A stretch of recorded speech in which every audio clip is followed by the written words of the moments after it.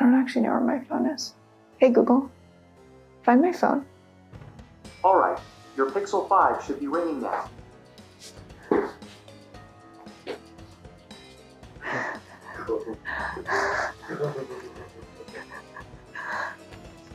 I'm sorry. I'm sorry.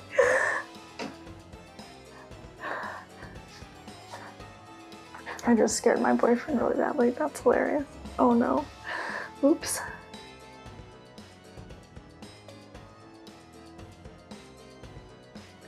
Hi, it's Tilli, and for part two of our Halloween 2021 Inspiration Month, I'm making myself into a ghost. Ooh, spooky. Quick reminder for those of you who haven't seen part one of this series with Wednesday Addams, the goal is to get some spooky outfits going without having to custom make everything. I particularly love this costume because she's inspired by the Haunted Mansion ghosts and parade characters at Mickey's Not So Scary Halloween Party. The parade is super fun, and if you haven't had a chance to see it, there are a lot of great recordings on YouTube. But for now, let's get started.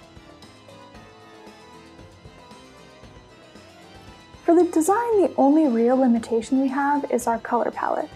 It's primarily white or gray, and we want something flowy or big for the skirt support. For this one, I was actually fairly limited because I don't really wear the color white often. The only blouse type shirt I had was my pirate shirt, so I started with that and my hoop skirt. From there I added my Mary Poppins Victorian inspired boots, although any white boot or shoe would work, and a white wig to be extra ghost-like. In order to break up all the white and provide a more defined waist, I added a skull scarf around my waist. Last, in order to reduce the amount of paint I'd have to use, I purchased a white unitard with gloved hands. So I'm going to use Ben Nye color cups and start by going in with the white. And first, uh, white's really hard because it's very it's very transparent. It's not very opaque, and so you'll want to first spread the color and then pat it down to be able to get a more even white tone base. And I've mentioned this before in some of my cats videos, but to make sure that you have a solid white base, you can actually use your phone as a pretty good test of how it'll show up on camera and if there are any patches or splotchiness to your white base. Great, so with the white base done, going to start to do just some kind of some normal contouring around the face to make it look more sunken. So I'm going to go in with a light gray color I'm going to do this around the forehead, underneath the cheekbones, maybe a little bit at the jawline, and down the side of the nose. And you can always go light and then build the color in. And then once I've placed some of that color, I'm going to go back in with my white sponge and help just blend that out.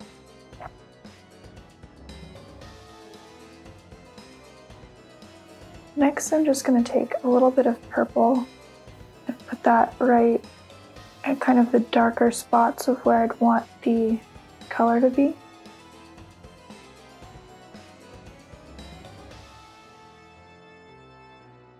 And then I'm going to take my sponge and blend that into the gray.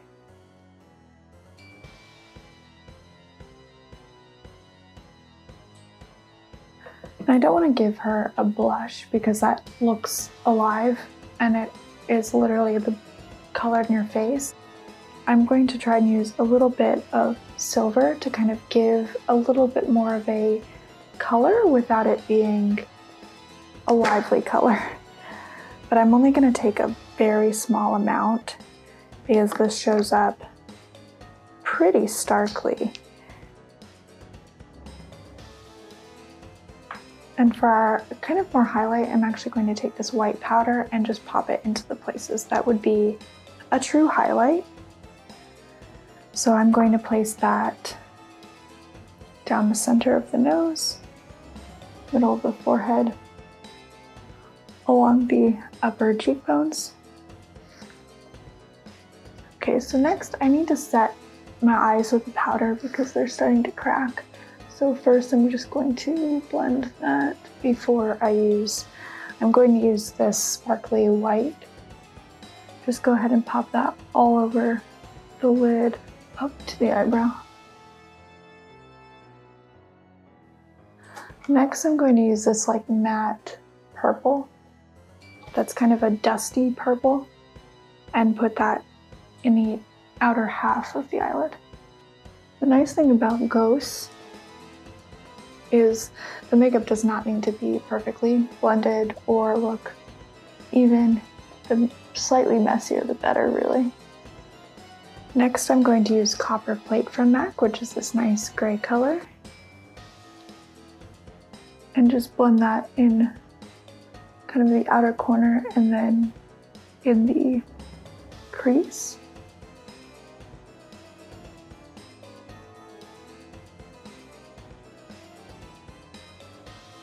And then I'm going to take this black and really darken that further at the very outer crease and into the eye socket.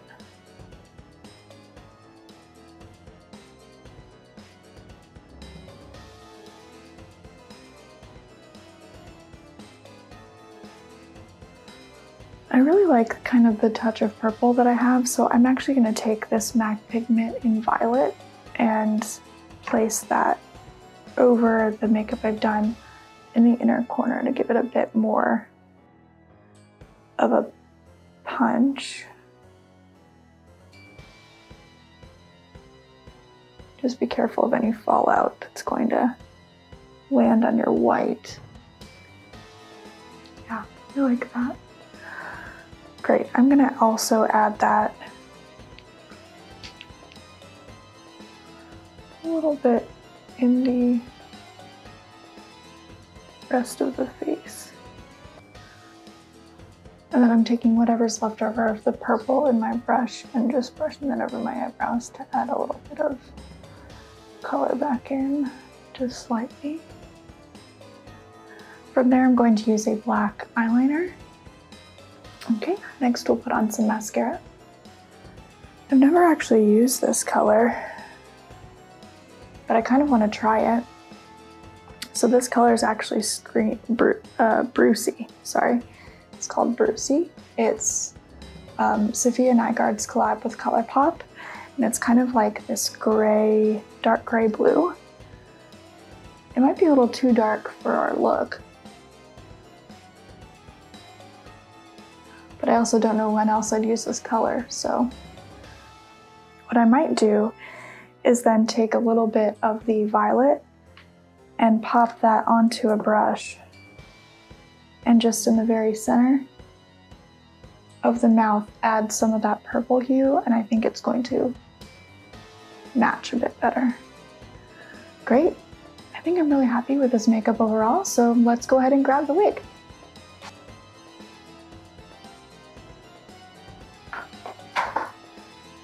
With this purple, I look a little bit like Ursula.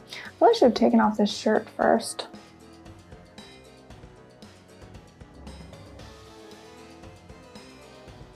Hmm.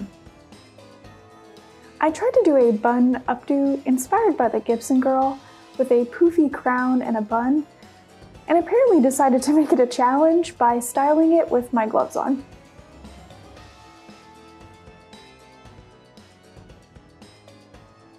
And now for the review.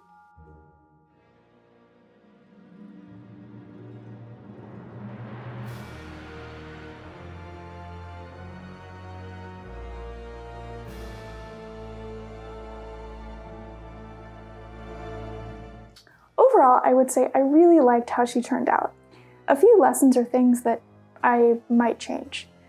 You could use a colored wig or your own hair and use baby powder or dry shampoo to make it look more ghostly. If you are styling your hair or a wig, I recommend doing it before you put on the unitard. The gloved hands made styling way more difficult than it needed to be. You can skip the unitard altogether for more makeup or a high collared shirt with white gloves instead. I didn't love my pirate shirt with this outfit because it kept slipping up the unitard, which I feel like would get really annoying. The crinkled crinoline helps appear more ghost-like.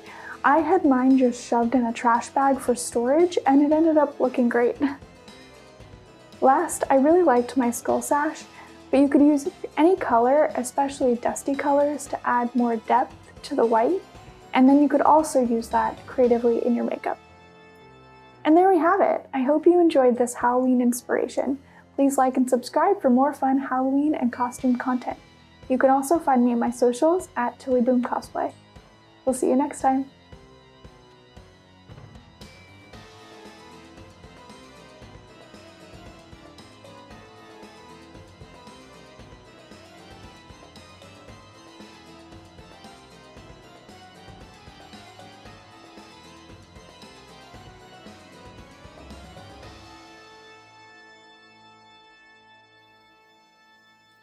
Although I guess if I've scared my boyfriend, I'm already doing a good job of becoming a scary ghost.